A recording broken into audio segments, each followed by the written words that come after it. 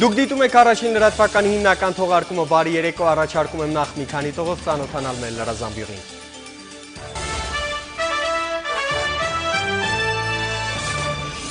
Հրեական պատիժ ուրացման համար 1 տարի ազատազրկում կամ 45000 եվրո տուգանք։ Ֆրանսիայի ազգային ժողովն ընդունեց հայոց ցեղասպանության շղթումը քրեականացնող օրինագիծը։ Փարիզում թուրք դեսպանը հավաքել է ճամպրուկները, Անկարան Ֆրանսիայի քայլին պատասխանում է սպառնալիքներով ու հարաբերությունների խզմամբ։ Թուրքական մամուլը լուտանքներ է թափում Ֆրանսիայի քաղաքական ընտրանում եւ Թուրքիայի վարչապետի հասցեին։ Էրդողանը Ալլահի ապուշն է։ Դատաիրավական համակարգի նկատմամբ հանրային վստահությունը շարունակում է մնալ ցածր։ Հանրապետության նախագահը դժգոհ է ոլորտի այսօրվա արդյունքներից։ Անօրինական որոշում ներկայացրած մի շարք քննիչների, դատախազների եւ դատավորների նկատմամբ կնախաձեռնվի ծառայողական քննություն, ամփոփիչ խորհրդակցություն նախագահականում։ Երբ կկառուցվի Մեղրի հեկն ու Իրան-Հայաստան նավթամուղը, Երևան է ժամանում Իրանի նախագահ Մահմուդ Ահմեդինեժադը։ Հաջորդ տարի էլեկտրաէներգիայի ու գազի սակագների բարձրացում չի նախատեսվում։ 2011-ին թողարկվել է ռեկորդային շուրջ 7 միլիարդ 400 միլիոն կիլովատ ժամ էլեկտրաէներգիա։ Էլեկտրաէներգիա Ղարաբաղյան ածուխով Հայաստանում մտադիր են 5 ջերմաէլեկտրակայանն աշխատեցնել Լեռնային Ղարաբաղում հայտնաբերված ածխահանքի հումքով։ Նոր եթերաշրջանը նոր նախագծերով քաղաքական, մանկական ու գեղարվեստական ինչ հայտագրերով է դիմավորելու հանրային հեռուստաընկերությունը 2012 թվականը։. Proposition de loi qui est pour. Serra Spanou Kioun.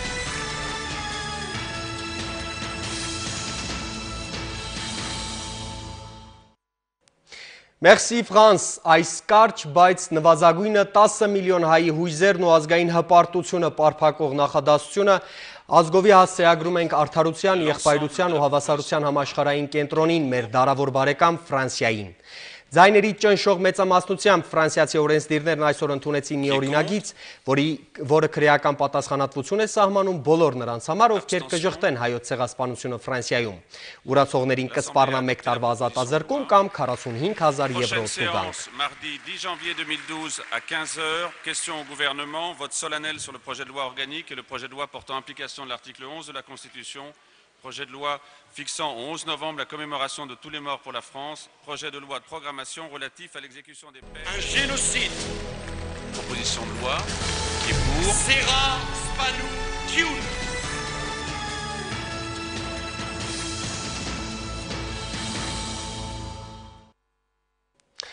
Հայոց ցեղասպանության ճանաչման հարցում Թուրքիային տրված ֆրանսիական ժամկետը սահմանվեց Երևանում դեռ հոկտեմբերին։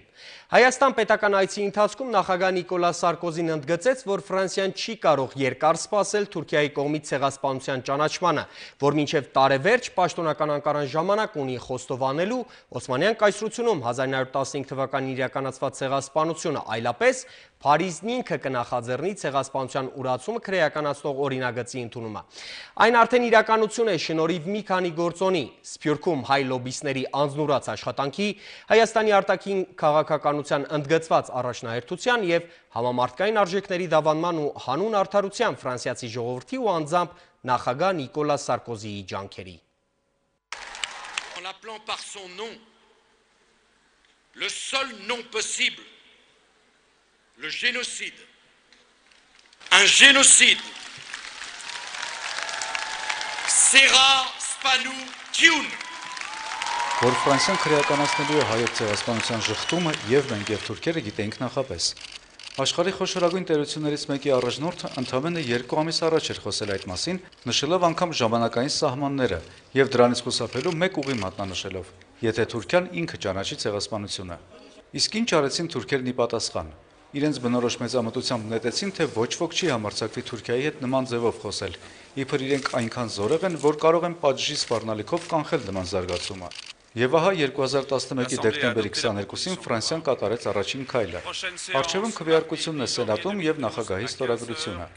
Դժվար է գտնել մեկին, ով կկասկածի այդ երկու ատյաններում էլ բանաձևի հաջողությանը։ 2001-ին Ժակ Շիրակը հրաապարակայինորեն չէր խոստացել, բայց միևնույն է ստորագրեց օրենքը իսկ Նիկոլա Սարկոզիի պարագայում ամեն ինչ ավելի թափանցիկ է։ Ֆրանսիայի այժմյան նախագահը իլուր աշխարհի եւ ոչ մեկ անգամ է հայտնել իր նվիրվածությունը համամարտկային արժեքներին։ Il ne revient pas à la France de poser un ultimatum à qui que ce soit. Ֆրանսիային հարիր չէ վերջնագիր ներկայացնել ում էլ որ լինի, այդ կերպ չէ, որ օգնում են հարևաններին հաշտվել, բայց ի վերջո կարող ենք հասկանալ, որ ժամանակն անվերջանալի չէ։ 1915-ից 2011 թվական ինձ թվում է բավական ժամանակ է մտածելու համար։ que pour la réflexion c'est suffisant. Երևանում Նիկոլա Սարկոզիի մտքերի գնահատականը Հայաստանի նախագահը հնչեցրեց նրա հայրենիքում Մարսելի հայության հետ հանդիպան ժամանակ։ Ես ուզում եմ իմ հայրենակիցներին հավաստիացնել, որ Ֆրանսիայի նախագահ պարոն Նիկոլա Սարկոզիի վերջին այցը Երևան իրոք պատմական այց էր եւ աշխարի որևէ երկրի ղեկավար մեր ժողովրդի ցավերի հենց կապված հայ-թուրքական հարաբերությունների հետ ցեղասպանության հետ որևէ մեկը այդպիսի խոսքեր չեր արտաբերել երբեք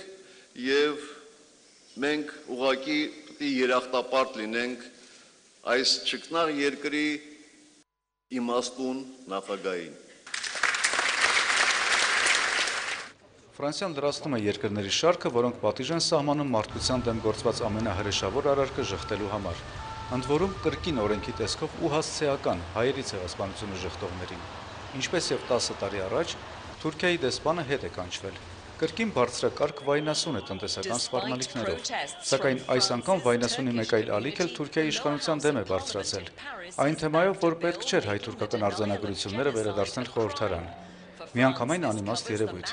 Դրանից առաջ էլ քննադատում էին ընդհանրապես արձանագրությունները ստորագրելու համար, որովհետև դրանցում ոչ մի խոսք չկար ոչ Ղարաբաղի, ոչ էլ Կարսի պայմանագրի մասին։ Այնպես որ այնքան էլ հասկանալի չէ, թե թուրքերն իրենք իրենցից ինչ են ուզում։ Իսկ դա մեզ համար կարևոր է այնքանով, որ որևէ երկրում սկսվող խժդժությունը պոտենցիալ կարող է վերաճել քաղաքական անկայունության։ Մի բան, որը նրա հարևաններին պետք չէ։ Ինչ էր մեզ պետք ստորագրելով այս արձանագրությունները, Հայաստանի նախագահը պարզաբանել էր դեռ 2 տարի առաջ Սփյուռքի գաղթօջախներով ուղևորության ժամանակ, մասնավորապես Նյու Յորքում։ Արդյոք Թուրքիայի ներսում թուրքական հասարակության մեջ ցեղասպանության քննարկումը պակաս հանգամանք է։ Վերջի վերջո բոլոր երկրների կողմից մենք ցանկանում ենք ցեղասպանության ճանաչումը միայն ու միայն մի նպատակով, որ เป զի պարտադրեն Թուրքիային ճանաչելու ցեղասպանությունը։ Մեկ անգամ եւս շատ հստակ ասում եմ, որ մենք թուրքերի հետ ցեղասպանության մասին ունենք ընդամենը մեկ քննարկում։ Մենք պիտի օգնենք թուրք ժողովրդին անաչար լինելու սեփական պատմության հանդեպ։ Իսկ ավելի հստակ մենք թուրքերի հետ կարող ենք քննարկել միայն ու միայն ցեղասպանության հետևանքների վերացման հարցը։ Գնացքը գնում է, մենք կրկին հետ ենք մնում, ասում է թուրք ամենահայտնի վերլուծաբան Մեհմեդ Ալի Բիրանդը։ Եկեք հանգիստ թողնենք Ֆրանսիային ու գոնե այս անգամ մեզ պահենք ոչ թե որպես թուրք, այլ որպես եվրոպացի։ Կուզեն թուրքերը կանեն գոնե առաջին քայլերը, առնվազն ինչ որ մակարդակով կանդրադառնան հայերի ցեղասպանությանը, ինչպես դա վերջերս արեցին Դերսիմի դեպքում։ Մենք իրոք նրանց պետք է օգնենք պատմության հետ առերեսվելու հարցում։ Հայերի ցեղասպանությունը վաղուց արդեն քաղաքակիրթ մարդկության հարցն է, գուցեև դատն է, եւ նրանք էլ իրենց կողմից են օգնում։ Մենք երախտապարտ ենք նրանց։ Արթուր Գրիգորյան, առաջին լրատվական։ Ֆրանսիան վերահաստատեց մարդու իրավունքների բնորան լինելու իր բարձր համարումը եւ մեկ անգամ եւս ապացուցեց իր հավատարմությունը համամարտկային արժեքներին։ Ողջունելով Ֆրանսիայի ազգային ժողովի ընդունած բանաձևը Հայաստանի արտգործնախարար Էդվարդ Նալբանդյանը եւս մեկ անգամ երախտիկի խոսք է ասել Ֆրանսիայի բարձրագույն ղեկավարությանը, ազգային ժողովին եւ ամբողջ ֆրանսիացի ժողովրդին։ Այսօր Ֆրանսիայի ազգային ժողովի կողմից ընդունված ցեղասպանությունների ժխտումը քրեականացնող օրինագծով Ֆրանսիան վերահաստատեց մարդու իրավունքների բնորան լինելու իր բարձր համարումը եւ մեկ անգամ եւս ապացուցեց իր հավատարմությունը համամարտկային արժեքներին։ Այս առիթով կցանկանայի եւս մեկ անգամ երախտիկի խոսք ասել Ֆրանսիայի բարձրագույն ղեկավարությանը, ազգային ժողովին եւ ողջ ֆրանսիացի ժողովրդին։ Դեռևս 10 տարի առաջ օրենքի ուժով ճանաչելով հայոց ցեղասպանությունը, ֆրանսիական ժողովուրդը ցույց տվեց, որ մարդու իրավունքները բարձրագույն արժեք են։ Իսկ այսօր ընդունելով այս օրինագիծը վերահաստատեց, որ մարդկության դեմ գործած հանցագործությունները չունեն վաղեմության ժամկետ եւ որ դրանց շղթումը ենթակա է միանշանակ դատապարտման։ Փարիզում մեր թղթակից Սեդա Գրիգորյանն այսօր ամբողջ օրն անցկացրել է Ֆրանսիայի ազգային ժողովում, հետևելով Ֆրանսիայի ազգային ժողովում ծավալվող հայկական օրինագծի քննարկմանը։ Մենք մեր գործընկերոջից սպասում ենք տեսանյութ, որը կներկայացնենք այս թողարկման ընթացքում։ Իսկ մինչ այդ մի քանի տողով տեսնենք, թե ինչպես են ֆրանսիացի падգամավորները ողջունել հայկական օրինագծի ընդունումը հենց ազգային ժողովում։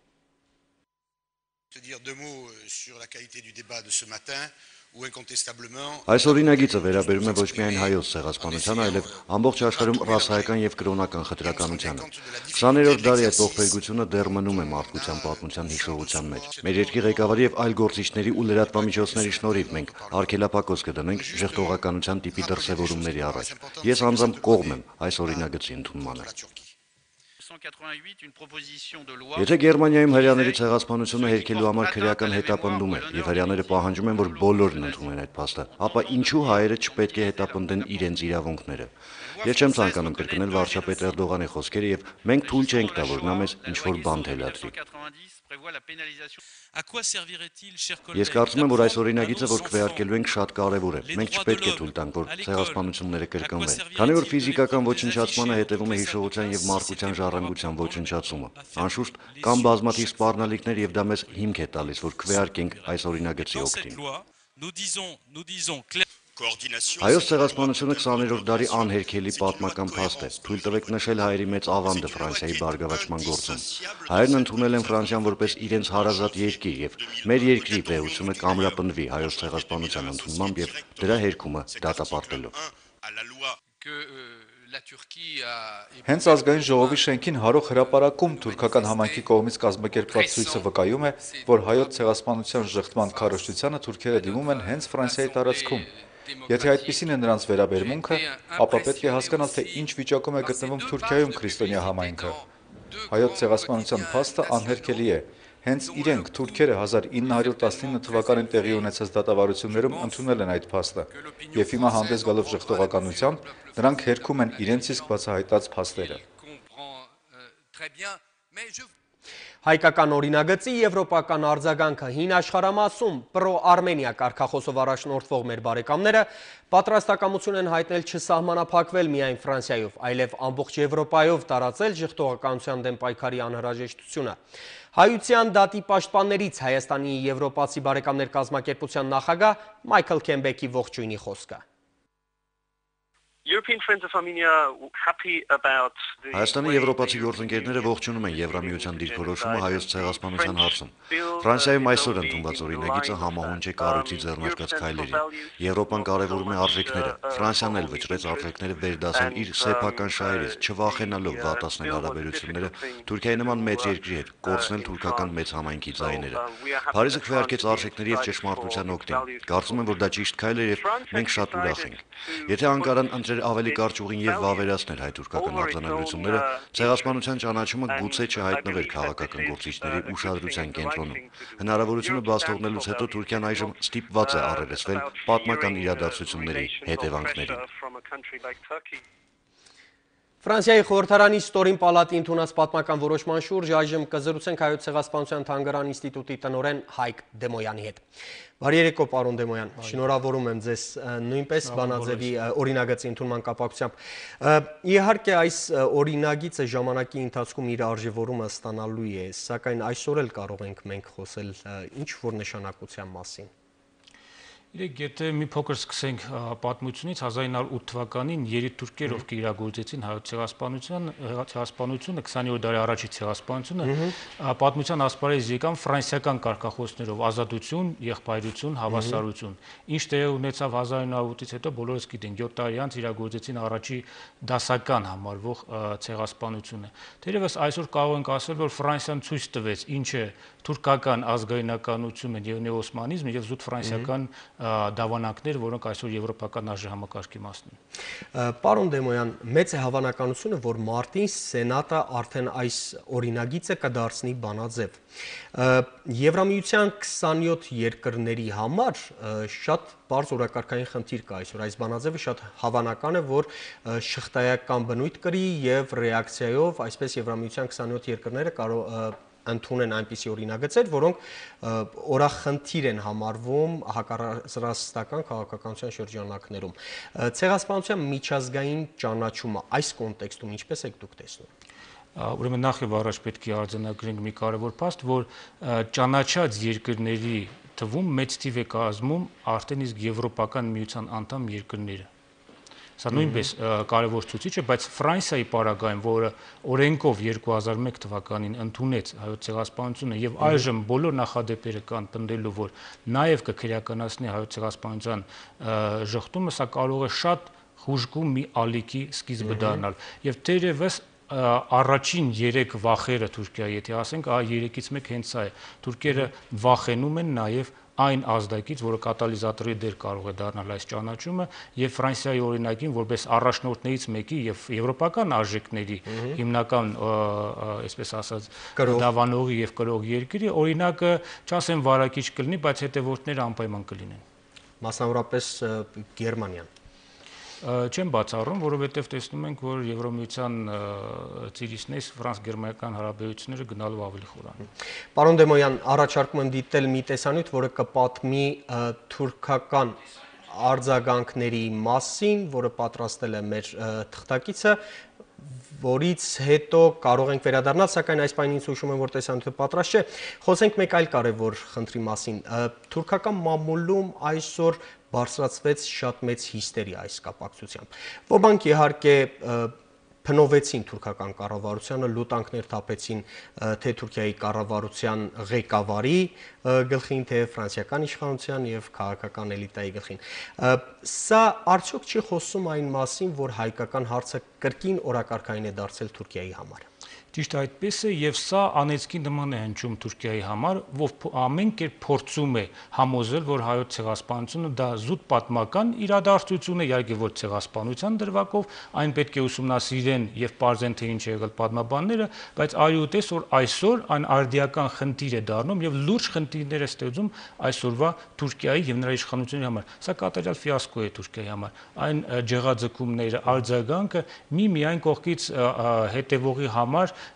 տարակուսանք առնվազն կարող առաջացնել չեզոք լսարանի համար, բայց մեզ մոտ պետք է այն բերի համոզմունք, որ պայքարը պետք է շարունակել, այդ պայքարի մեջ պետք է համադրված աշխատել եւ աշխատել իրական արդյունքների շուրջ։ Մեկ ամսվա ընթացքում երկու անպատասխան գնդակ թուրքական դարբասին։ Ես այսպես կորակեի ամերիկյան բանաձևը եւ ֆրանսիական այսօր ստորին պալատի բավական դիպուկ բնորոշում։ Այո, ընդունված բանաձևը եւ սա թերևս նաեւ պատասխաններ այն բոլոր վախերին, որ կային առայն, որ դատա կատարել են ընդհանրապես հայոցեղասպանության միջազգային ճանաչման գործադասը, ոչ այդպես չէ, մենք ականատեսն ենք դառնում որակապես նոր գործընթացի եւ այն շարունակական է։ Պարոն Դեմոյան, մենք դեռ կշարունակենք զրույցը, այժմ դիտենք խոստացված տեսանյութը, որտեղ կպատմենք թե թուրքական, թե համաշխարհային լրատվամիջոցների արձագանքի մասին։ Խնդրեմ։ Ալլահի ապուշ, թերևս հենց սա է ամենակորս գնահատականը, որ մինչ այս պահը տրվել է Թուրքիայի վարչապետին կապված Ֆրանսիայի ազգային ժողովում քննարկված օրինագծի նկատմամբ Էրդողանի պահվածքի հետ։ Թուրքական հյուրիեթի հեղինակներից Ելմազ Օզդիլը Փարիզի նկատմամբ պատժամիջոցներ կիրառելու սպառնալիքներով հանդես եկած Էրդողանին նկատել է տվել, որ հիմարություն է խոսել ֆրանսիացիների կողմից Ալժիրում իրականացված հանցագործությունների մասին այն դեպքում, երբ ներկա պահին Ֆրանսիան եւ Ալժիրը բարեկամ պետություններ են։ Փոխարենը Օզդիլը Թուրքիայի վարչապետին խորհուրդ է տվել բացատրել, թե ինչու են փոխված հայկական քաղաքների անունները, ով է զենքի ուժով գրավել այդ քաղաքները եւ վերջապես որքանով է բարոյական շղթել մի ամբողջ ժողովրդի ոչնչացման բում փաստը։ Հատկանշական է սակայն, որ Հյուրիեթը Էրդողանի ոսկորները լվացել էր դեռ մինչ այն պահ, երբ հայտնի դարձավ օրինագծի ընդունման մասին։ Ինչ վերաբերում է օրինագծի հաստատման բում փաստի արձագանքներին, ապա թուրքական կողմից հնչող մեկնաբանությունները տարերային են եւ որ հատկանշական է խիստ տարբեր։ Մասնավորապես Էրդողանի խորհրդական Հեյբուլա Ռամազանը հայտարարել է, թե Անկարան պատշաճ արձագանք է տալու ֆրանսիացի խորհրդարանականներին եւ շեշտել է, որ Թուրքիան առաջիկա օրերին սառեցնելու է Ֆրանսիայի հետ իր տնտեսական հարաբերությունները։ Հետաքրքրական է, որ այս հայտարարությունն արվել է Թուրքիայից հնչած մեկ այլ բոլորովին այլ գնահատականներ պարունակող հայտարարությանը գրեթե զուգահեռ։ Մասնավորապես Թուրքիայում մարդու իրավունքների միության Ստամբուլի մասնաճյուղի ռասիզմի եւ խտրականության դեմ հանձնաժողովը տարածել է հաղորդագրություն, որով թուրքական իշխանություններին կոչ է արվում հանգիստ թողնել Ֆրանսիայի ազգային ժողովին։ Դրա փոխարեն թուրքական իշխանություններին խորհուրդ է տրվում ճանաչել ցեղասպանության փաստը, քանի որ նախորդ ծրագրված ձևով մի ամբողջ ժողովրդին ամբողջությամբ վերացնելը եւ այդ հանցանքը ժխտելը հավասար է հանցանքը պաշտպանելուն։ Իրավապաշտպանների համոզմամբ հայոց ցեղասպանության ժխտումը հարցակում է ցեղասպանության ժառանգների եւ զոհվածների հիշատակի դեմ։ Ինչ վերաբերում է համաշխարհային լրատվամիջոցների արձագանքներին, ապա դրանք կարելի է որակել որպես զուսպ սպասողական։ Թե ամերիկյան եւ թե ռուսական ու եվրոպական լրատվամիջոցները սահմանափակվել են օրինագծի ընդունման փաստի արձանագրմամբ։ Միաժամանակ սակայն շեշտելով, որ Անկարայի հետագա գործողությունները ճիշտ է կարող են հարվածել ֆրանսիական տնտեսական շահերին, բայց միաժամանակ անհուսալիորեն կփչացնեն Թուրքիայի որպես վստահելի գործընկերոջ կերպարը։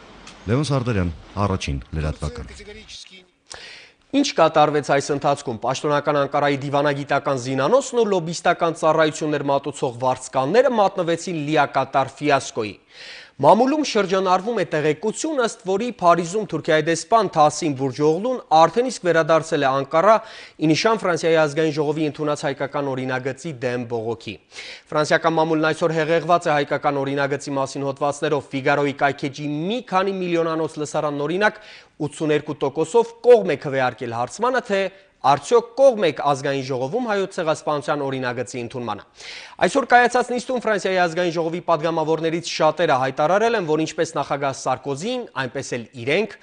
առաջ քաշելով օրինագիծը կատարում են իրենց նախընտրական խոստումը իսկ Թուրքիայի սպառնալիքները որևէ արդարացում չեն կարող ունենալ կամ ինչ որ կերպ վնաս հասցնել այնպիսի երկրի, ինչպիսին Ֆրանսիան է։ Սեդա Գրիգորյանն ամբողջ օրը Փարիզում հետևել է հայկական օրինագծի հաղթական քայլերթի ընթացքին։ Նրա տեսանյութն այժմ ներկայացնում ենք ձեր ուշադրությանը։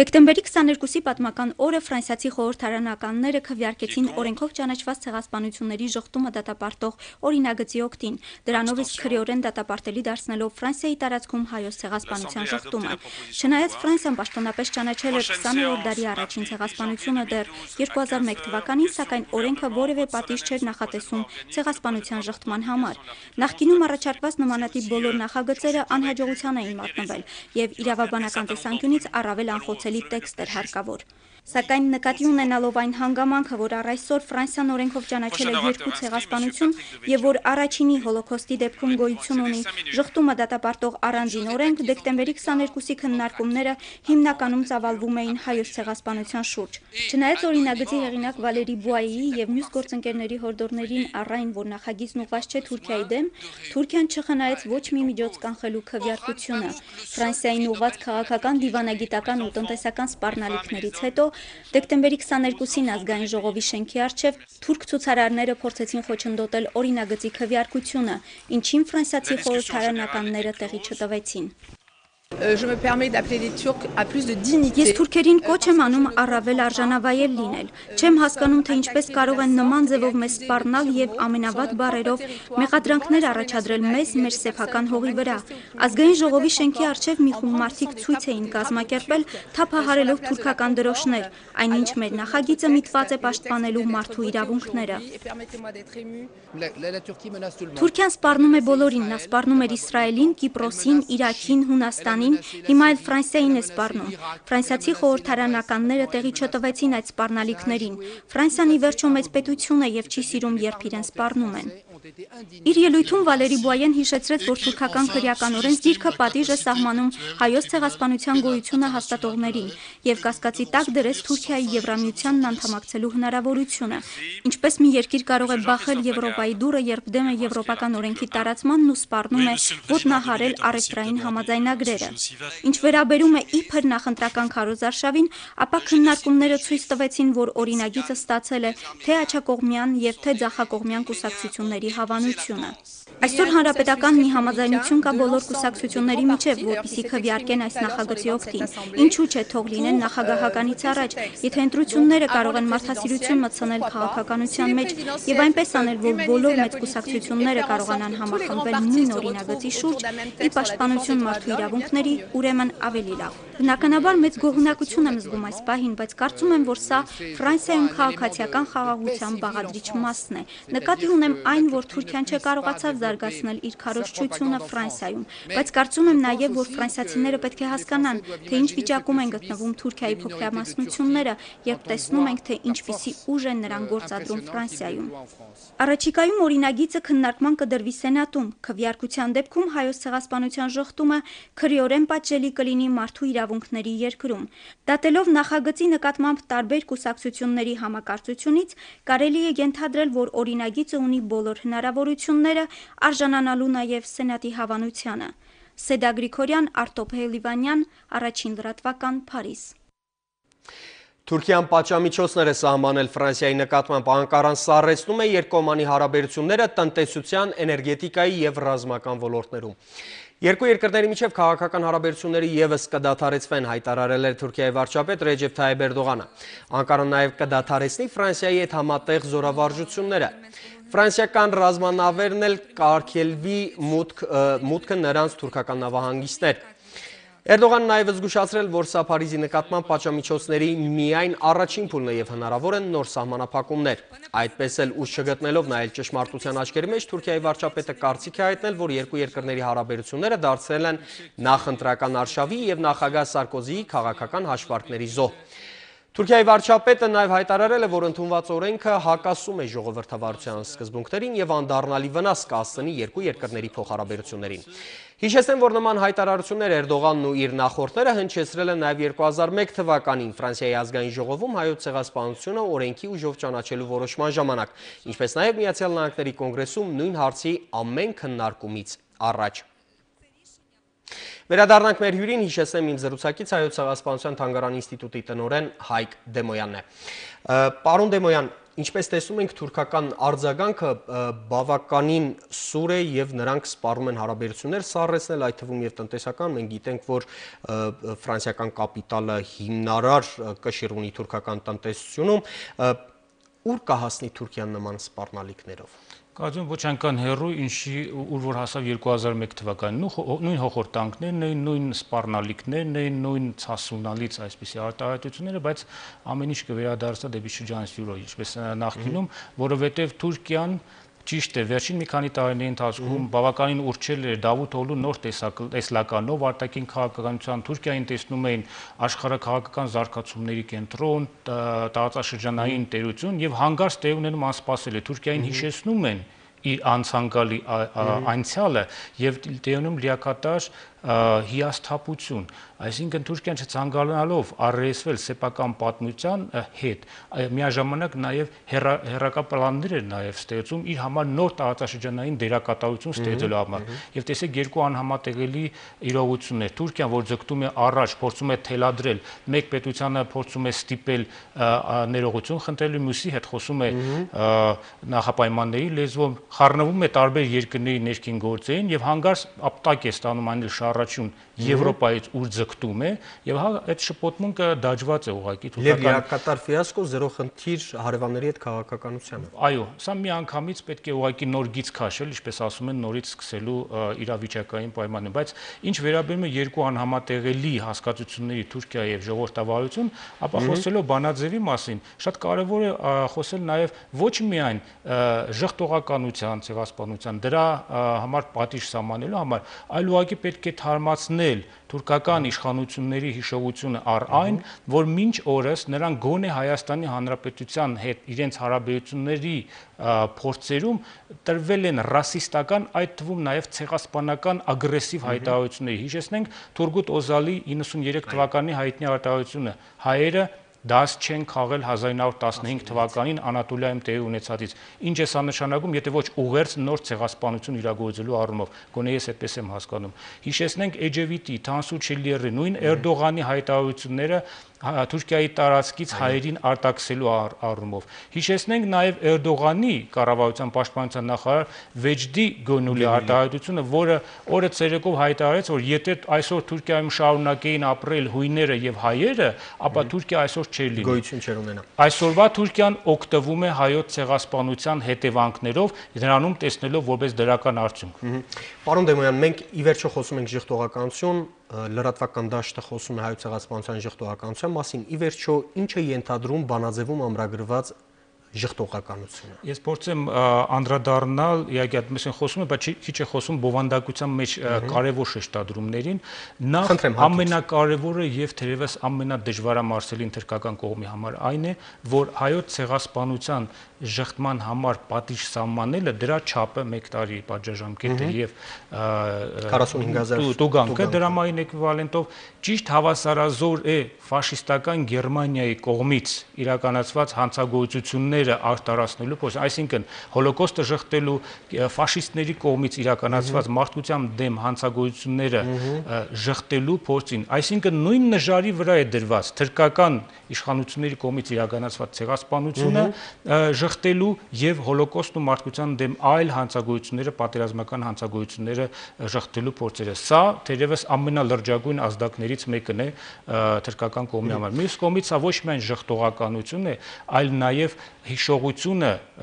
տրիվիալիզացնելու, զավեշտի վերացնելու փորձերը, իսկ տվյալ դեպքում իհարկե արձանագրված չի բանի մեջ, հաստատքի մեջ, բայց ելույթներից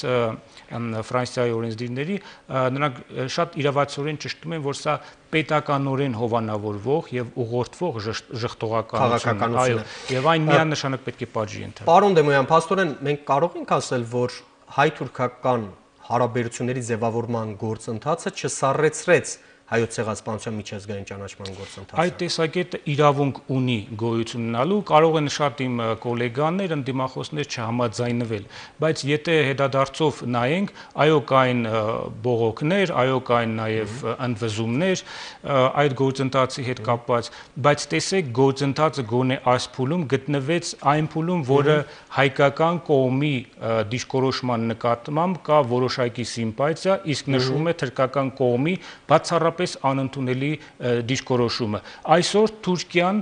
արժե զրկեց այն հիմքը, որը կարող էր լինել իրական հիմք երկկողմանի հարաբերություններ հաստատելու համար։ Այսօր Թուրքիան փորձեց օգտագործել իր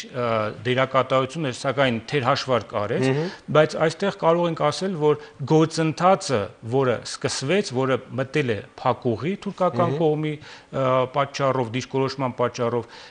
իհարկե սա նաև բերեց նրան, որ նոր ազդակ առաջ բերեց եւ նոր որակի ճանաչման գործընթացի սկիզբ հանդիսացավ եւ պատահական չէ որ եթե հիշենք նաեւ հանրապետության նախագահը ինքը արձանագրել էր անդրադառնալով այն մասին որ ցեղասպանության միջազգային ճանաչման գործընթացը ընդհանրապես կապ չունի գործընթացի եւ չի կարող վտանգվել։ Կարող է ինչ-որ պաուզա տեղ ունենա գործընթացում։ Ժամանակավոր։ Այո, այդ նույն տերությունների կողմից բանաձևերի ընդունումը Միացյալ Նահանգներից, Ֆրանսիայից եկեք չկարծենք, որ սա միայն մեկ հաշվարկով է, տարբեր հաշվարկներ կան այս գործընթացում եւ ինչպես նշեցի, այդ երկու գնդակները թուրքական դարբասին բավականին սուր եւ լուրջ ուղերձներ են դեպի Անկարան։ Շնորհակալություն պարոն Դեմոյան, լիահույս ենք, որ մարտին արդեն ֆրանսիական սենատը վերջնականապես կամրագրի այս օրինագիծը եւ բոլոր ժխտողները կհայտնվեն կամ բանտում կամ կվճարեն տուգատ։ Դրանում եկեք չկասկածենք եւ համարենք սա համահայկական հաղթանակ։ Շնորհակալություն հետաքրքիր հարցազրույցի համար։ Հիշեցնեմ, որ առաջինի տաղավարում հայոց ցեղասպանության թանգարան ինստիտուտի տնօրեն Հայկ Դեմոյանն էր։ Հայկական օրինագծի ընդունումը մեծ աղմուկ է բարձրացրել նաև Միացյալ Նահանգներում։ Ամերիկյան մի շարք պարբերականներ խոստովանել են, որ մարդու իրավունքների պաշտպանության եւ ընդդեմ ռասիզմի ու ժխտողականության հարցում քաղաքական որոշումների ընդունման ամենամեծ կենտրոնը Վաշինգտոնը նույնպես մեծ անելիք ունի։ Սոցիալական ցանցերն այսօր ողողված են Թուրքիային դատապարտող ու Ֆրանսիային դրվատող նյութերով։ Մամուլը զարմանք է հայտնում փաստի կապակցությամբ, որ Թուրքիայում հայոց ցեղասպանության ճանաչումը նույնպես քրեորեն պատժելի արարք է եւ տրամաբանական հարց է առաջադրում։ Ինչու է քաղաքական թուրքական քաղաքական էլիտան մատնվում հիստերիայի, երբ ամբողջ քաղաքակիրթ Եվրոպայում մարդկության դեմ հանցագործությունների ուրացումը քրեական պատասխանատվություն է ենթադրում։ Ամերիկյան National Post հանդեսը անդրադառնալով Թուրքիայի կողմից Ֆրանսիայի դեմ տնտեսական բոյկոտի սպառնալիքների թեմային նշում է, որ երկու պետությունները առևտրի համաշխարհային կազմակերպության անդամ են, իսկ նշված կառույցի օրենքները արգելում են խտրական տնտեսական քաղաքականություն վարել միմյանց նկատմամբ։ Մամուլը նաև փոխանցում է Եվրամիության խորհրդի հայտարարությունն այն մասին, որ օրենքի ընդունումը համարում է Ֆրանսիայի եւ Թուրքիայի ներքին գործը եւ չի մեկնաբանում այն։ Իսկ թուրքական քաղաքական դաշտը ալեկոծվում է շրջակա միջավայր խաղերի նախարար Բայրակթարը հայտարարել է այն մասին, թե որոշումը իբր հակասում է խոսքի ազատությանը։ Սա այն դեպքում, երբ Թուրքիայի բանտերում 60 լրագրողներ կան եւ իրավապաշտպանները ահազանգում են հենց Թուրքիայում խոսքի ազատության կտրուկ վատթարացման մասին։ Թուրքական քաղաքական ուժերից միայն խաղաղության եւ ժողովրդավարության քրդական կուսակցությունն է, որ կրկին տարբերվող հայտարարությամբ է հանդես եկել։ Խորհրդարանական խմբակցության փոխղեկավարը հիշեցրել է, որ մոտենում է 2015 թվականը։ Հարյուրամյակին ընթരാճ ծրագնդի պես աճելով խնդիրը կփոխադրվի այլ խորհրդարաններ։ Ամեն մի երկիր ունի պատմության հետ առերեսման անհրաժեշտություն եւ հարկավոր է որ Մեջլիսը այդ քաջությունը նույնպես ունենա, հայտարարել է քուրդ քաղաքական գործիչը։ Հատկանշական է, որ նա վկայակոչել է նաեւ Գերմանիայի կողմից ապաշխարանքի նախադեպը, ընդելով, որ Թուրքիայի իշխանությունները պետք է հետևեն նույն օրինակին։ Թուրք իշխանավորներին կարեկցող ու սրտապնդող հայտարարություններ են հնչում միայն Բաքվից։ Այստեղ նաեւ հանրահավաք է եղել Ֆրանսիայի դեսպանատան մուտքի մոտ։ Թուրքիայից բացի աշխարհի միակ պետությունը, որտեղ Եղեռնի մերժողականությունը պետական մակարդակի վրա է, մտահոգության իր պատճառներն ունի։ Ֆրանսիայի ագրեսիվ ադրբեջանցիները եւս ուշ կամ շուտ կարող են հայտնվել արդարության վերականգնման նպատակով ընդունված օրենքի թիրախում։ Թուրքական հյուրեթի լրագրողը հիշեցնում է, որ դեռևս 2005 թվականին ցեղասպանությունների մերժողականությունը քրեականացնող օրինագիծ է ընդունել Շվեյցարիան։ Այդ շրջանում թուրք-շվեյցարական հարաբերություններում լարվածություն նկատվեց, հատկապես այն բանից հետո, երբ շվեյցարական դատարանի արչև կանգնեցին թուրք քաղաքական գործիչ Փերինչեկը եւ պատմաբան Հալաչօղլուն։ Սակայն ժամանակի հետ հարաբերությունները կարգավորվեցին, ճգնաժամն էլ մոռացվեց, թեև օրենքը առ այսօր գործում է Շվեյցարիայում, իսկ վերենշված երկու գործերը Եվրոպայի մարդու իրավունքների դատարանում դեռևս ուսումնասիրվում են, գրում է լրագրողը։ Հայտարարությամբ հանդես է եկել Միացյալ Նահանգների հայդատի գրասենյակը Վաշինգտոնյան կենտրոնակայանում հուսով են, որ ամերիկյան օրենսդիրը կհետևի Ֆրանսիայի գործընկերների օրինակին, իսկ Թուրքիայի վարչապետի մամուլի ծառայությունից փոխանցում են, որ դեսպան Բուրջու Օղլուն արդեն տունդարձի ճանապարհին է։ Հայկարամ Նահապետյան առաջին լրատվական Ֆրանսիայի ազգային ժողովի ընդունած օրինագծի շուրջ քննարկումներն ու գնահատականները այսօր եւ կարծում եմ նաեւ առաջիկայում շարունակելու են առաջնահերթ մնալ հայաստանյան քաղաքական ուժերի ու կուսակցությունների օրակարգում։ Ֆրանսիայի օրենսդիր մարմնի ընդունած որոշումը պատմական էր, այն եւս մեկ անգամ վկայեց, որ հայոց ցեղասպանության միջազգային ճանաչումը անկասելի գործընթաց է, որից առաջիկայում կբխի թե իրավական, թե բարոյական պատասխանատվություն։ Հայաստանի խորհրդարանական եւ արտախորհրդարանական քաղաքական ուժերն այսօր իրենց տպավորություններն են ներկայացրել առաջին լրատվականի տեսախցիկի առջև շատ կարևոր է ամբողջ աշխարհի համար։ Սա շատ կարևոր է մարդու իրավունքների հարատև պաշտպանությունը երաշխավորելու համար։ Եվ այդ տեսանկյունից այս նախագիծը կարևոր է ոչ թե զուտ Հայաստանի համար, այն կարևոր է աշխարհի բոլոր ժողովուրդների համար։ Ես կարծում եմ քայլը խիզախ քայլ է եւ այս քայլը իսկապես շատ պատեհ պահի արված պահի, երբ աշխարհում տարբեր տենդենսներ են նշмарվում, երբ ողում է որ փողով կարելի է գնել ճշմարտությունը։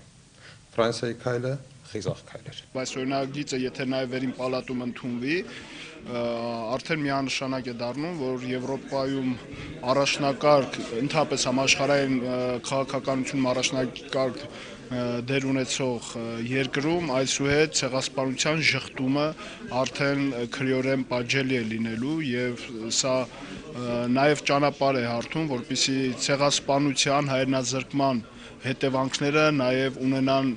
իրավական պատասխան եւ իրավական պատասխանը նաեւ սկսվում է այս բանաձևի կյանքի կոչումից։ Հստակ դարձավ բոլորի համար եւ այդ թվում նաեւ Թուրքիայի վայնասունը դրանով է պայմանավորված, որ ցեղասպանության միջազգային ճանաչման գործընթացը այլևս անկասելի գործընթաց է։ Դա մի գործընթաց է, որ նաեւ վեր է երկկողմանի հարաբերությունների դաշտից։ Սա արդեն միջազգային օրակարգի վրա արձանագրված գործընթաց է։ Այսինքն բոլորը այս հարցին մոտենում են որպես մարդկության դեմ կատարված մեծագույն ոչիրը դատապարտելու անհրաժեշտությունից ելնելով։ Եվ ուրեմն ցանկացած երկիր, որ իրեն համամարտկային արժե համակարգի մեջ է տեսնում, խնդիր է ունենալու իսկապես այս խնդրին արձագանքել այնպես, ինչպես դա կատարեց Ֆրանսիան։ Եվ ես վստահ եմ, որ սա նոր լիցք կհաղորդի հայոց ցեղասպանության ճանաչման գործընթացին նոր որակ դրան տալով։ Ցեղասպանությունը իսկապես ծանրագույն հանցագործություն է մարդկության դեմ, որի շղթումը պետք է պատժվի։ Այդ առումով զուտ բարոյական հետևանքների առումով, բարոյական առումով սա ողջունելի է։ Ֆրանսիայի ազգային ժողովում ցեղասպանության ժխտումը քրեականացնող օրինագծի ընդունումից անմիջապես հետո միասին երիտասարդական շարժման ակտիվիստները Vive la France եւ Շնորհակալ ենք Ֆրանսիա բացականչություններով երթ են կազմակերպել դեպի Երևանում Ֆրանսիայի դեսպանատուն։ Այս կերպ երիտասարդներն իրենց երախտագիտությունն են հայտնել Ֆրանսիային եւ Հայաստանում Ֆրանսիայի դեսպանին, ինչպես օրինագծի ընդունման, այնպես էլ Ֆրանսիայի երկարամյա բարեկամական հարաբերությունների համար։ Ըստ երթի մասնակիցների Ֆրանսիայի խորհրդարանի այսօրվա որոշումը կարող է լավագույն օրինակը ծառայել մյուս երկրների համար, որոնք դեռևս չեն ընդունել եւ դատապարտել հայոց ցեղասպանության իրողությունը։ շատ խանդակին ձևով արդեն այս քանի օրերի ընթացքում նկատվում էր Թուրքիայի այդ լոբիստական կազմակերպությունների բուրըն արձագանքը տարբեր քայլերի դիմում էին, բայց վերջապես հաղթանակեց ճշմարտությունը։ Բացի նրանից, որ Ֆրանսիայում կոնկրետ կտուգանվեն ինչ որ մարդիկ կամ քրեական հետապնդման կենթարկվեն, ովքեր կմերժեն կամ առհասարակ կփորձեն ապացուցել, որ դա չի եղել, դրանից բացի մեզ տվեց նաև շատ կարևոր հաղթանակի զգացողություն հետագա պայքարում ցեղասպանության Հայաստան ճանաչման։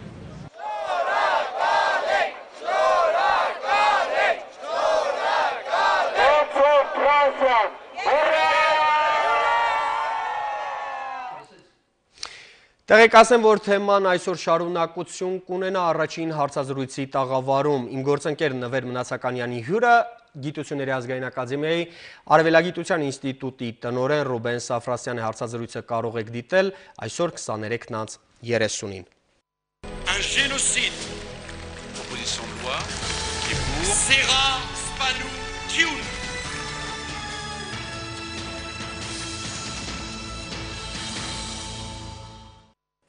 Եվ որվա ներհայաստանյան իրադարձությունների մասին պաշտոնական լուր հանրապետության նախագահի մամուլի գրասենյակից։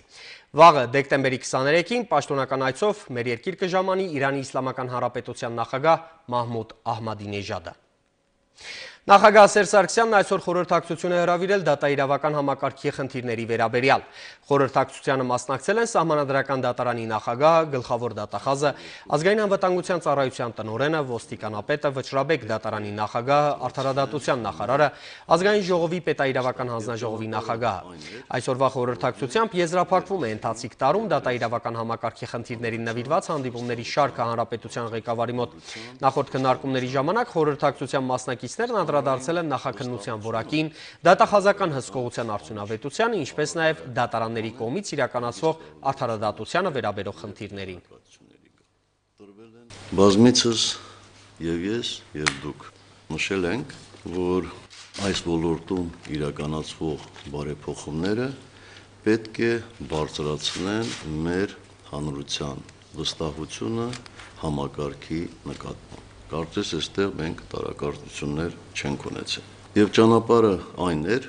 որ մենք վերհանեինք եւ վերացնեինք այն խոչընդոտները, որոնք կան եւ որոնք խոչընդոտում են հանրության վստահության բարձրացման։ Իսկ հանրային վստահությունը երևակայական բան չի, դա առարկայական բան է,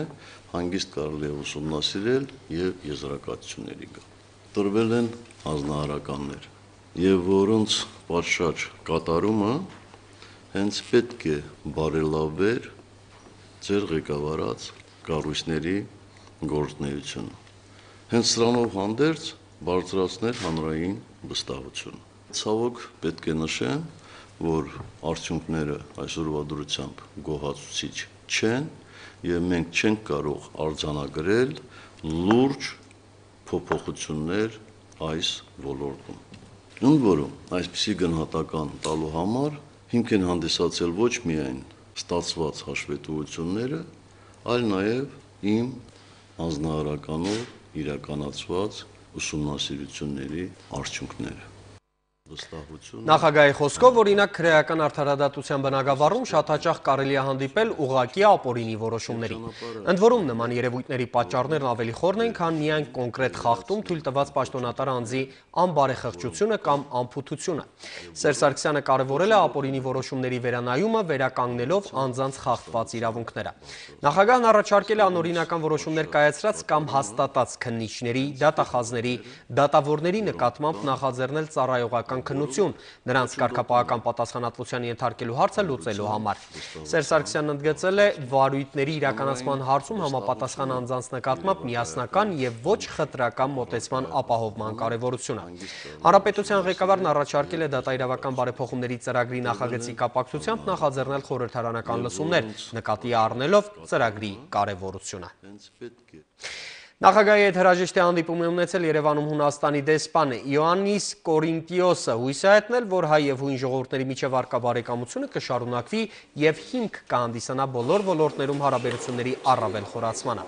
Նախագահ Սարգսյանն շնորհակալություն է հայտնել Հունաստանցի դիվանագետին երկու երկրների հարաբերությունների ամրապնդման գործում ներդրած ջանքերի համար, որի արդյունքում հայ-հունական հարաբերությունները որոշակի առաջընթաց են ապրել։ Արցախի նախագահ Բակո Սահակյանի հայ առաքելական եկեղեցու Ռուսաստանի անդեմի առաջնորդ Եզրաս Սրբազանի եւ Ռուսաստանում Հայաստանի արտակարգ եւ լիազոր դեսպան Օլեգ Եսայանի մասնակցությամբ Մոսկվայում տեղի ունեցած ամենամյա դրամահավաք ճաշկերույթին հրավիրված էին շուրջ 70 ռուսաստանանակ գործարարներ ու հասարակական գործիչներ։ Մոսկվայի Ռենեսանս մոնարխ կենտրոնում կայացած նախագահական ճաշին մասնակցելու ցանկություններ հայտնել նաև Արգենտինահայ գործարար Էդուարդո Էրնեկյանը, որը չի կարողացել մասնակցել Միացյալ Նահանգներում կազմակերպված մարաթոնին։ Դրամահավաք ճաշկերույթի արդյունքում մասնակիցների կողմից նվիրաբերված գումարի հայտարարված չափը այս տարի կազմել է 18 միլիոն 635 հազար դոլար։ Ամենախոշոր գումարը 11 միլիոն դոլար հայտարարել է Էդուարդո Էրնեկյանի ներկայացուցիչը։ Երկրորդ խոշոր նվիրատվությունը 3 միլիոն դոլար Սարգիսով եղբայրներն է։ Խոշոր ներդրում է կատարել նաև Տաշիր ընկերության նախագահ Սամվել Կարապետյանը, որը խոստացել է 1 միլիոն դոլար։ Շատ ուրախ էինք, որ շուրջ 70 մարտասեր ներկա էին այստեղ եւ իրենց իսկ նվիրատվություններով կարողացան եւս մեկ անգամ ապացուցել, որ Արցախի շուրջ մենք բոլորս համախմբված ենք։ Այս միջոցառումները մեզ համար կարևոր են ինչպես նյութական, այնպես էլ բարոյական տեսանկյունից։ Եվ այդ տեսակետից իհարկե մենք Հայաստան համահայկական հիմնադրամի կողմից ձեռնարկված կազմակերպված միջոցառումները միշտ դիտում ենք որպես անհրաժեշտ միջոցառումներ Սա ապացուցում է, որ հայերն ընդունակ են միավորվելու։ Կա լավ գաղափար, ամեն ինչ արվում է, որ Արցախում մարդիկ ավելի լավ ապրեն։ Խաղաղության եւս 1 տարի հայկական երկրորդ հանրապետությունում այդ թանկ պարգևն արցախցիներին նվիրեց պաշտպանության բանակը, որն այս տարի դարձյալ կատարելագործեց իր զինվորի ֆիզիկական ու հոգեբանական պատրաստվածությունը, արդիականացրեց սեփական զինանոցն ու ուժեղացրեց կարգապահությունը։ Սահմանին գրեթե կրկնապատկվել են հրադադարի ռեժիմի խախտումները, ինչ նստ Արցախի պաշտպանական գերատեսչության ղեկավար Մովսես Հակոբյանի մարտական պատրաստվածության ավելի բարձր հրամայականի առաջ է կանգնեցնում պաշտպանության բանակին։ 2011-ի Արցախյան պաշտպանական հաջողություններն ու հակառակորդի հարձակումների թվային պատկերը Մերի Դավթյանի տեսանյութում։ Երբ այսօր Արցախի պաշտպանության նախարարը տարեվերջի ասուլիս էր տալիս լրատվամիջոցներին, իսկ ավանդաբար բոլոր գերատեսչություններից նա միշտ առաջինն է դա անում, սահմանում 30 գրակոց է արձակվել հակառակորդի կողմից։ Այդ առումով տարին իսկապես լարված էր, ինչն էլ նոր խնդիրներ առաջադրում բանակին։ Հակառակորդը բարբերաբար նոր զինատեսակներ է կիրառում, դիպուկահարների խնդիրը շարունակում է մտահոգիչ մնալ։ Եթե անցած տարի կատարվել 5349 խախտման դեպքեր, Աստարի այդ դեպքերը հասել է 10397 դեպքերի։ Մեր կողմից ընդհակառակը կրակոցների քանակը նվազեցել է, եթե անցյալ տարի մենք ունեցել ենք 1239 կրակոց, աստարի պատասխան կրակ եք բացել 699 անգամ։ Այս հարաբերակցությունը սակայն չի նշանակում, թե հակառակորդն անպատասխան է մնում, պարզապես մշակվել են նոր ստրատեգիա, որը նպատակային է ու ավելի արդյունավետ ոչ քանակական առումով։ Ես միջոցառում եմ իրակաց, որ ամեն մի դիրքում մի սերիայի փամփուշ կա եւ այդ փամփուշտը ուրիշ տեղ չի կարող լինել այսինքն զինվորը չի կարող կարակի ուրիշ տեղից փամփուշ վերցնել դնի տեղը կարակում եք նրա համար որ որ ունենա արցում նա դայև հետագայում է մեզպես պատերազմի ժամ որոնք պիտի նշան բռնի հայտնաբերի թիրախը հետո նոր կարակված Խաղաղության եւս 1 տարի Արցախում ապահովել է շնորհիվ այն բարեփոխումների, որոնք ինտենսիվորեն կատարվում են զինված ուժերում։ Դրանք վերաբերում են մարտական պատրաստության ու ներուժի բարձրացմանը, առաջին գծի կահավորման սպառազինությանը, բանակային բնագծի շինարարությանը, պլանային ու արտապլանային ինժեներական աշխատանքներին։ Տարվա բոլոր 51 հանկարծակի ստուգումները ստացել են բավարար գնահատականը, եւ ամենակարևորը, չնայած առաջնագծում անհանգստությանը, զոհերի թիվը այս տարի նվազել է 14%-ով։ Հակառակորդին հաջողվել է 11 անգամ խոցել պաշտպանության բանակի զինծառայողներին եւ 34 հատ վիրավորանք ունեցել մենք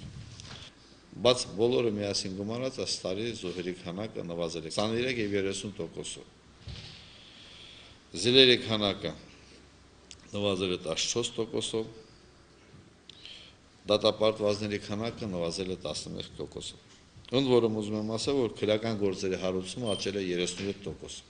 Այս թվերի շուրջ քննարկումները շատ հաճախ հասարակությունը միանշանակորեն է ընդունում, ինչը որքան էլ սուբյեկտիվ լինի, միշտ էլ ճիշտ հետևություններ անելու տեղիք է տալիս բանակին, որովհետև հենց ամենաշատը բանակն ինքը կուզենար խուսափել պատահարներից, խոստովանում է Մովսես Հակոբյանը։ Բայց բանակում լավը միշտ ավելի շատ է։ Այս տարի անձնակազմից 25212 հոգի ապարգևատրվել է, ընդ որում 40-ը պետական ապարգևներով, իսկ սա իհարկե մերօրյա հերոսությունների մասին է խոսում, մանր թե մեծ դրամաչափի։ Արցախի պաշտպանության ղեկավարը նշանակություն չտալով տալով հակառակորդի ռազմաշունչ ռետորաբանությանը ամեն օր, ամեն ժամ ու րոպե սպասում է պատերազմի։ Թե չեն սկսում պատերազմը, կարծում եմ որոշակի հաշվարկներ դեռևս կատարում են։ Բայց որպես պաշտպանության նախարար, ես ամեն օր, ամեն ժամ սպասում եմ, որ կարող է պատերազմը սկսել եւ իմ հերախոսս երբևէ չի անջատում եւ երբ իմ հերախոսս թե ծառայական թե ձերքի հերախոսը զանգում է եւ առանձնապես զանգում են առաջին գծի զորամասերից, ես որևէ բան առաջին որ մտածում եմ, դա մտածում եմ, որ կարող է հարձակվել հակառակորդ։ 2012-ին բանակի կարգախոսը նույնն է մնալու այն դարձյալ կարգապահությանն է վերաբերում։ Եկող տարին Արցախի պաշտպանության բանակի համար հոբելանական է։ Պատրաստվում են եւս մեկ փառահեղ զորահանդեսի։ Լրագրողներին շնորհավորելով գալիք տոների կապակցությամբ Մովսես Հակոբյանն առաջարկեց ամանորի գիշերն անցկացնել հայ զինվորի կողքին, ինչին լրագրողները մեծ խնդավառությամբ արձագանքեցին։ Մերի Դավթյան, Արտավազ Գրիգորյան, առաջին լրատվական։ Քաղաքագետ Ալեքսանդր Մանասյանի գնահատմամբ 2011 թվականը Ղարաբաղյան խնդրի կարգավորման հարցում նշանավորվել է համանախագահ երկրների հաստատակամ հայտարարություններով այն մասին, որ հակամարտությունը կարելի է լուծել միայն խաղաղ ճանապարհով եւ որ խաղաղ կարգավորումն այլ ընտրանք չունի։ Քաղաքագետը կարծում է, որ Ադրբեջանը կամաց-կամաց հաշտվում է այդ մտքի հետ եւ նույնիսկ հավանություն չտալով, բայց նշանները ցույց տալիս, որ տեղյակ է միջազգային հանրության դիրքորոշմանը։ Այս հենքի վրա 2012 թվականը Ալեքսանդր Մանասյանը տեսնում է ադրբեջանական կողմից հակամարտության խաղաղ կարգավորմանը հակված, սակայն իրականում իմիտացիոն քարոշչության իրականացման տարի կփորձեն խնդրի կարգավորման քարոշչական կերպար ներբերել նոր բանաձևեր, որոնք մի կողմից կարծես թե համաձայնություն կտան այն բանին, որ խաղաղ կարգավորում կարգավորման կողմնակից են, բայց մյուս կողմից այնուամենայնիվ կփորձեն փոկել իրենց համար նպաստավոր դիրքեր բանակցային գործընթացում Եվ մինչև Հայաստանյան մյուս իրադարձություններին անդրադառնալ, ինձ հուշում եմ, որ այս պահին Փարիզում Թուրքիայի դեսպան Բուրջ Օղլուն մամուլի ասուլիս է հրավել, որտեղ խոսել է Ֆրանսիայի ազգային ժողովի կողմից ընդունված հայոց ցեղասպանությունը ժխտումը քրեականացնող օրինագծի մասին։ Դեսպան Թահսին Բուրջ Օղլուն հայտարարել է, որ նա վաղնիսկ առաջին ավիատոմսն է վերցնելու Փարիզ Անկարա ավիաչվերթով եւ մեկնելու է Անկարա անվերադարձ։ Հարցին թե երբ է պատրաստվում դեսպանը վերադառնալ Փարիզ, նա միանշանակ պատասխանել է, որ այլևս չի վերադառնալու։ Վերադառնանք ներհայաստանյան իրադարձություններին։ Ընդդեմ բիզնեսի խոչընդոտների կառավարությունը կրճատում է բիզնես միջավայրի ճահճացման պատճառ դարձած անհեթեթ փաստաթղթաշրջանառությունը։ Գործադիրն ընդունել է որոշումներ, որոնք կտրուկ կնվազեցնեն կոռուպցիոն ռիսկերն ու կբարձրացնեն երկիր ներմուծվող սննդի անվտանգությունը։ Եվս մեկ կարևոր որոշում՝ գյուղատնտեսության նախարարությունը 1 միլիարդ դրամի շրջանակում ազոտական պարարտանյութերի մեկ պարկը գյուղացիներին կվաճառի շուկայականից էժան գնով 6000 դրամով։ Հանրային սննդի ծառայությունը հանվեց պարտադիր արտոնագրման ենթակա ցանկից։ Հայաստանում գործող տեխնիկական կանոնակարգումը մոտեցվում է Եվրամիության չափանիշերին։ Սերտիֆիկացումը սահմանին վերացվում է, էականորեն թեթևացնելով արտահանողների եւ ներմուծողների կյանքը։ Կան դեպքեր, երբ որ գործողությունները կարելի է անել քայլ առ քայլ եւ ջանքեր գործադրել, բայց կային դեպքեր, որտեղ պետք է ուղագի քոքից կտրել որը մենք այսօր դա իրականացրեցինք, այդ հարցը մեկ հարվածով լուծեցինք եւ կարծում եմ գործարարները առաջիկայում կզգան այդ ոլորտում մասնավորապես ինչպես իրենց կյանքը ավելի դյուրին եւ ավելի հեշտ դարձավ 4 պետական հիմնարկներ էին արտահանողներին եւ ներմուծողներին տրամադրում սերտիֆիկատներ։ Տարեկան տրամադրվում էր մինչեւ 500 սերտիֆիկատ, քաշքշուկներով ու ստեղծելով կոռուպցիոն ռիսկեր։ Նաեւ գիլյոտինի գործի սկիզբն է դրվում սրանով։ Վարչապետ Տիգրան Սարգսյանի խոսքով գիլյոտինի համար Ավստրիայի կառավարությունից արդեն 500 000 եվրո են ստացել։ Բազմաթիվ այսպիսի արհեստական գործառույթներ կան, որոնք բովանդակային առումով բացարձակապես չեն նպաստում սննդի անվտանգության բարձրացմանը Հայաստանի Հանրապետության, բայց ստեղծում են կոռուպցիոն ռիսկեր, բյուրոկրատական քաշքշուկներ, բիզնես միջավայրն են վարդարացնում։ Եվ այս օրինակը վկայում այն մասին, որ մենք լուրջ անելիքներ ունենք գելոթինի մասով։ Կառավարությունն արդեն սկսել է նախապատրաստվել գառնանացանին։ Գյուղնախարարությանը տրամադրեց 1 միլիարդ դրամ 25000 տոննա ամոնիակային սելիտրատ ձեռք բերելու համար։ Մեկ պարկը հողօգտագործողին վաճառվելու է շուկայականից էժան 6000 դրամով։ Էապես կնպաստի գյուղատնտեսության ավելի բարձր ցուցանիշներ ապահովելու խնդրին։ Նամանավանդ որ մենք այս պայդրությամբ ունենք շուրջ 14%-անոց աճ գյուղատնտեսությունում։ Եվ մեր համար կարևոր խնդիր է լինելու 2000 12 թվականին այս աճի տեմպը պահպանել։ Կառավարությունը հավանություն է տվել պետական գույքի կառավարման մասին օրինագծին, ԱՊՀ տարածքում եզակի այս փաստաթղթով ոլորտի բարեփոխումներն են կյանքի կոչվելու, հաշվառվելու է պետական ամբողջ գույքը, կազմակերպվելու են էլեկտրոնային աճուրներ, պետության քաղաքականությունը դարձնելով ավելի արդյունավետ։ Արմինե Պետրոսյան, Ռոմիկ Խաչատրյան, առաջին լրատվական։ Ջերմություն, ջերրուցում, լույս եւ հույս այն ամենն ինչ էներգետիկը տալիս է մեզ բոլորիս։ Այսօր էներգետիկների տոնն է։ Ամանորին ընթառաջ հոբելյարները բարի ցանկությունների կիլովատեր են հաղորդել բնակիչներին միաժամանակ հորդորելով խնայել էլեկտրաէներգիան։ Էներգետիկներին Երևանի ջեկում այցելելու շնորհավորել է վարչապետ Տիգրան Սարգսյանը։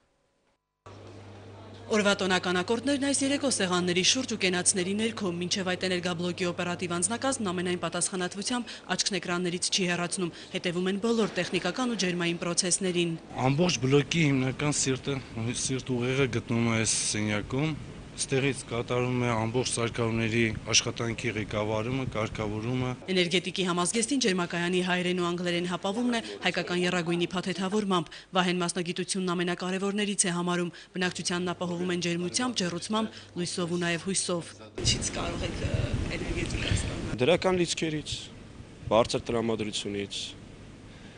եւ անհոգ կյանքից։ Էներգետիկներն առաջին շնորհավորանքը ստացան Հանրապետության վարչապետից։ Տիգրան Սարգսյանն էներգետիկի օրն սկսեց Երևանի համակցված շոքեգազային ցիկլով էլեկտրակայան այցելությամբ։ Շրջեց կայանում, ծանոթացավ ջեկի աշխատանքներին։ 2011-ին ջերմակայանն արտադրել է 1 միլիարդ 680 միլիոն կիլովատժամ էլեկտրաէներգիա, խնայել 185 միլիոն խորանարդ մետր գազ։ 2011 թվականի տարվա կտրվածքով մենք դուրս կգանք միլիարդ 700 միլիոն կիլովատժամ արտադրանքի վրա։ Էներգաբլոկն աշխատում է ավտոմատացված համակարգով ապահովելով բարձր արդյունավետություն։ Սա գազի կոմպրեսորներն են, որտեղ գազի ճնշումը մենք բարձրացնում ենք մինչև 27 մթնոլորտ։ Եվ էլեկտրահաղորդման գծերը, որով արտադրանքը տրվում է ցանց։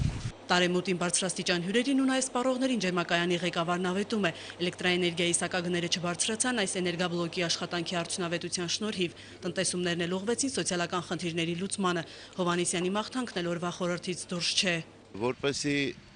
էներգետիկայում աշխատող օբյեկտները լինեն շատ էֆեկտիվ, որպեսի մենք կարողանանք սակագները պահպանել եւ չբարձրացնել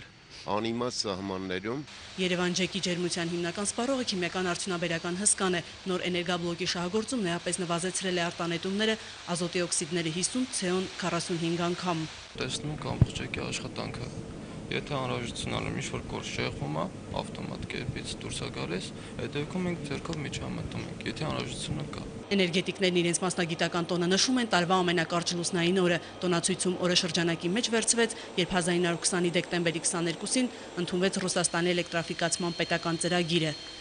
Մայա Խաչատրյան, Հակոբ Թումանյան, առաջին լրատվական։ Գազն ու էլեկտրաէներգիան չեն թանկանա։ Էներգետիկայի եւ բնական պաշարների նախարարի տվյալներով էլեկտրաէներգիայի թողարկման առումով 2011-ն ավելի արդյունավետ էր ոլորտի համար։ Արմեն Մովսիսյանն սպասում է Իրանի նախագահի Հայաստան այցին, որտեղ կքննարկվեն նաեւ երկու երկրներին հավասարապես հետաքրքրող նավթամուղի եւ Մեղրիի հեկի հարցերը։ Նախարարության 2012-ի անելիքների ու Երևանի հին ջեկի երկու բլոկների շահագործման ծրագրի մասին Վահե Կոստանդյանի տեսանյութում կանխատեսումները բոլոր մասնագիտացված միջազգային խոշոր ընկերությունների կողմից շատ հակասական են։ Եվ այդ հակասությունը հաշվի առնելով կարելի ասել, որ նման կանխատեսում չկա։ 2012-ին գազի գինը կբարձրանա, թե ոչ դժվարանում է կանխատեսել նաև էներգետիկայի նախարարը։ Փոխարենը նախարարը վստահ է, որ Հայաստանի էներգետիկ անկախությունն արդեն իսկ ապահովված է, անկախ հանգամանքից, թե հարևանների հետ նախկինում ձեռք բերված էներգետիկ պայմանավորվածություններն ինչ փուլում են։ 2011-ը աչքի է ընկել արտադրված էլեկտրաէներգիայի ծավալով։ Ընդհանուր առմամբ թողարկվել է շուրջ 7 միլիարդ 400 միլիոն կիլովատ-ժամ էլեկտրաէներգիա, ինչը գերազանցել է 2012-ի ցուցանիշը 933 միլիոն կիլովատ-ժամով, իսկ պայմանավորվածությունների մի մասի, մասնավորապես իրանական կողմի հետ ձեռք բերված նավթամուղի ու Մեղրիի հեկի շինարարության ճակատագիրը կհստակեցվի Իրանի նախագահի այցի ժամանակ վաղը նախատեսվում է ստորագրել մեղրի հեկի մասով կոնկրետ ժամկետները, որ պետք է սկսվի աշխատանքը, վաղը պետք է քննարկվի նաև այդ մակարդակով մյուս ծրագրերի մեր խնդիրը, թե որը երբ եւ ինչպես ենք ինչ ժամկետներում ենք սկսելու։ Այժմ փորձարկման փուլում է Հրազդանի ջեկի 5-րդ բլոկն ու արդեն կան առաջին արդյունքները։ Նույնիսկ փորձարկման փուլում արտադրվել է 20 միլիոն կիլովատ-ժամ էլեկտրաէներգիա։ 2012-ի սկզբին կայանը լիովին պատրաստ կլինի շահագործման համոզված է նախարարը։ Հայաստանի էներգետիկ անկախության եւս մեկ գրավական խոստանում է ապահովել Ղարաբաղում հայտնաբերված քարածխի հանքը, օրական 2000 տոննա արտադրողականությամբ։ Փորձում ենք հին ջերմային կայանը ձևափոխել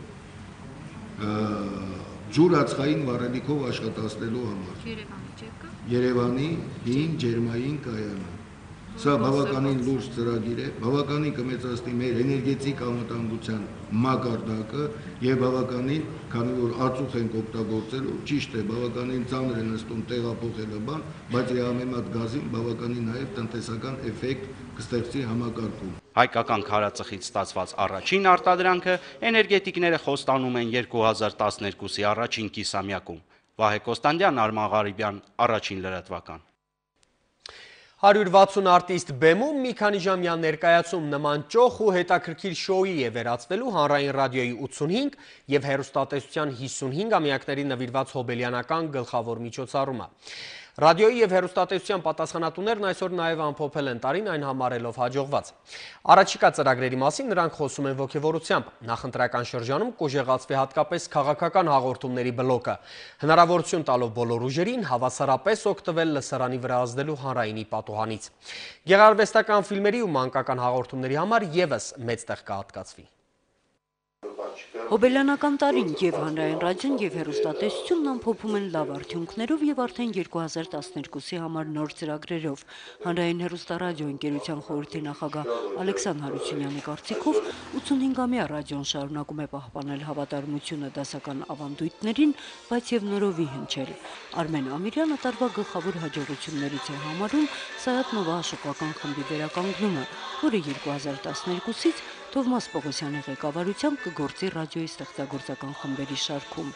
Ռադիոյի 85 եւ հեռուստատեսության 55 ամյակների հոբելյանական համերգը աստղային եւ անակնկալներով լի շոու է լինելու։ Օպերային եւ փոփ արտիստների դուետներ, մյուզիկլի լավագույն ավանդույթներով բեմադրված հանդիսություն եւ 160 արտիստներ բեմում։ Պարողներ, երգիչներ, երգչուհիներ, օպերայի եւ էստրադայի երգիչներ, Ընտրել ենք բյուրեղի թեման, որովհետև հատկապես տարեմուտի նախաշեմին բյուրեղը խորհրդանշում է եւ մակրությունը, եւ շքեղությունը, եւ փայլը, եւ նաեւ այն շերտերը, որ ունի հանրայինը, նկատի ունեմ հանրության բոլոր շերտերը։ Ալեքսան Հարությունյանի գնահատմամբ այս տարի եւս հմեկը պահպանել է առաջատարի իր դիրքերը։ Հանրայինի բարձր վարկանիշ ունեցող հաղորդումների շարքում խորհրդի նախագահն առանձնացնում է առաջին լրատվականի աշխատանքը երկերքոց երաժշտական նախագիծն ու ֆուտբոլային խաղերի հերարցակումը, որոնք տարվա ընթացքում վերելքի ու հպարտության բազմաթիվ պահեր են ապարգևել մեր ժողովրդին։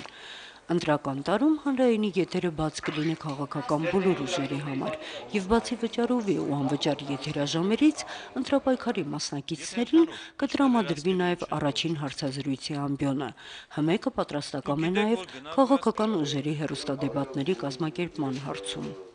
Եթե քաղաքական կուսակցությունների միջև այդ ցանկությունը լինի, այո, բայց բացառությամբ մի դեպքի մեզ երբեք չի հաջողվել քաղաքական կուսակցություններին այսպես բերել այսպես դասական ոճի դեբատի եւ դա ոչ այնքան հերոստատեսության մեղքն է, ինչքան քաղաքական կուսակցությունների կամքի արտահայտություն։ Նախընտրելով ժամանակից շուտ չխոսել նոր ծրագրերի մասին, ՀՄԵԿ-ի գործադիր տնօրեն Գագիկ Պունյացյանն այդուհանդերձ նշեց, որ կփորձեն արդեն հաջորդ տարի լրատվական թողարկումներից մեկը եթեր հերարցակել սուրդո թարգմանությամբ, նաև ուժեղացնել մանկական հաղորդումների բլոկը։ Իհարկե մանկական ծրագրերում մենք պակաս ունենք։ Պլանավորում ենք մանկական ծրագրեր, դրա մասին ավելի ուշ կխոսենք, բայց այդ գաղափար կա, Իսկ նոր եթերային տարին առաջին ալիքը կսկսի միջազգային եւ խոշոր ֆորմատի բազմաթիվ նոր նախագծերով, որոնց թվում են հանրահայտ աստղերի ֆաբրիկան, իտալական ընտանեկան տաղանդ հաղորդումը եւ ռուսական առաջինի հետ համատեղ ստեղծվող Սպասիրին սիրված հաղորդաշարը։ ՀՄԵԿ-ը կշարունակի նաեւ ֆիլմարտադրությունը, 2-3 ամսից ավարտուն տեսք կստանա Խաչատուր Աբովյանին նվիրված գեղարվեստական ֆիլմի սցենարը։ Իսկ նոր տարում կսկսվեն նաև նոր Գեներալի աղջիկը հերոստասերիալի նկարահանումները, որի գործողությունները սկսվում են Արցախյան պատերազմի վերջին փուլում եւ հասնում մինչեւ մեր օրերը։ Նոնե Ալեքսանյան, Էդգար Դավթյան, առաջին դրատվական։ Երևանի քաղաքապետը մասնակցել է Ռեբունի վարչական շրջանում բակերի բարեկարգման 2011 թվականի ծրագրով իրականացված երկու բակերի, ինչպես նաև նոր արեշի 7-րդ ու 9-րդ փողոցների հատման մասում կառուցված պուրակի բացմանը։ Այն նախկինում լքված ու ամայի տարածք է եղել ու ինչպես նկատել են հարակից տարածքի բնակիչները, գառնան է, երբ կանաչապատվի եւ սկսեն գործել նաև շատրվանները, պուրակն ուղակի դրախտային տեսք ունենա։ Իդեպ անցկացված է նաև ոռոգման ցանց եւ արտաքին դեկորատիվ լուսավորության համակարգ։ Ռոստովյան 15 եւ Մուրացանի 109 շենքերի, ինչպես նաև Արցախի 22 կոտորակ 1 եւ 24 շենքերի բակերում էլ տեղադրվել են նստարաններ ու նոր զրուցարաններ։ Խաղահրապարակները սալիկապատվել են ու բերվել պատշաճ տեսքի։ Բնակիչների հավաստմամբ նախկին անբարեկարգ տարածքներից միայն դառը հուշեր են մնացել, ինչի համար առանձնակի շնորհակալ են քաղաքապետին։ Տարո Մարգարյանն էլ վստահեցրել է, որ բակերի բարեկարգման ծրագրերը լինելու են շարունակական։ Շատ անելիքներ կա, ուղղակի ժամանակի մեջ այդ ամեն ինչը անելու ենք։ Հաստատ կզգարակ, հաստատ կտեսնենք։ Մեր խնդրանքն է, որ այս եղածը պահպանենք։ Այո, այո։ Եվ ձեր գալիք նոր տարին է շնորհավոր։ Սա էլ մեր կողմից նոր տարուն ձեր բակին նվեր։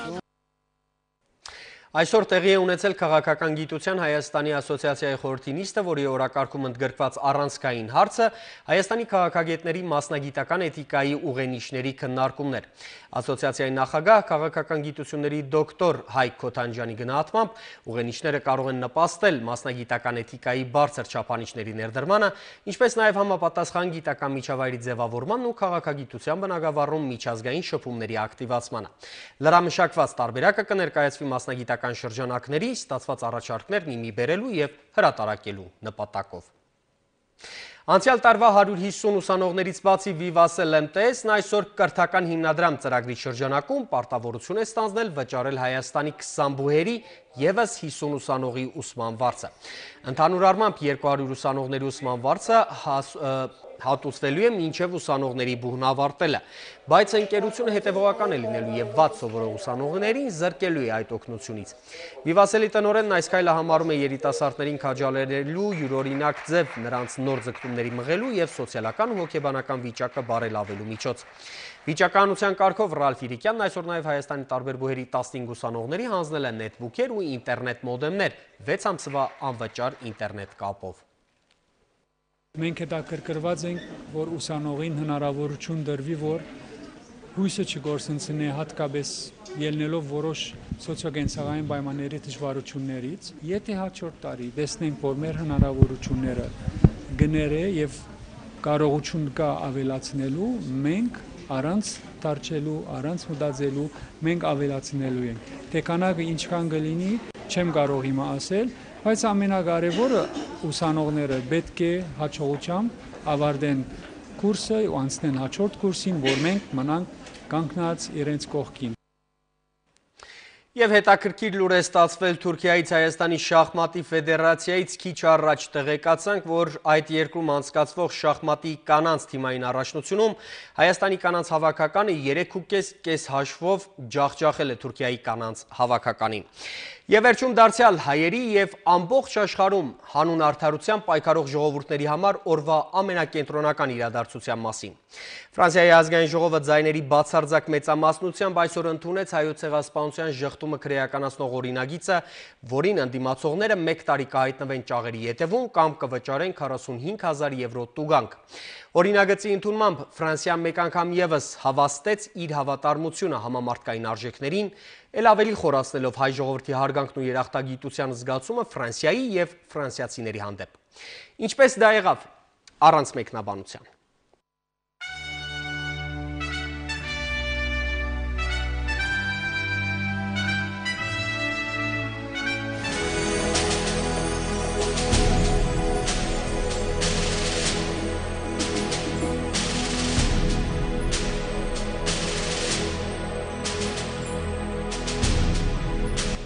génocide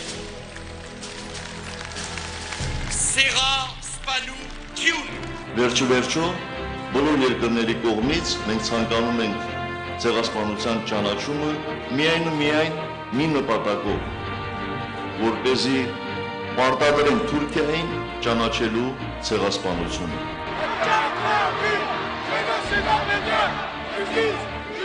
Մեկ անգամ եւս շատ հստակ ասում եմ, որ մենք թուրքերի հետ ցեղասպանության մասին ունենք ընդհանրապես մեկ քննարկում։ Մենք պիտի օգնենք թուրք ժողովրդին անաչառ լինելու սեփական պատմության հանդեպ։ Celui-là, celui de la reconnaissance du génocide, le génocide arménien est une réalité inconnue. de génocide arménien. Pourquoi y aurait-il aux yeux de la République Parachève l'acte de génocide. Même si on peut bouillir et se révolter face à des opinions révoltantes. Le génocide signifie étymologiquement et juridiquement. Abstention. L'Assemblée a adopté la proposition de loi. Prochaine séance. Mar...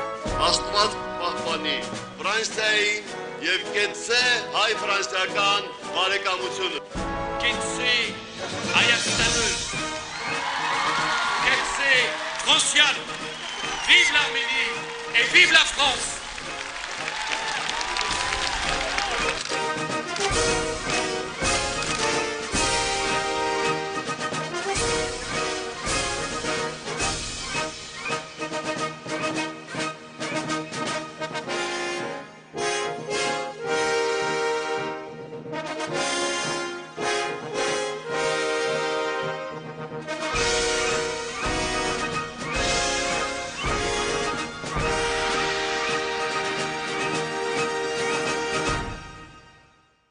Եվս մեկ անգամ, մերսի Ֆրանս։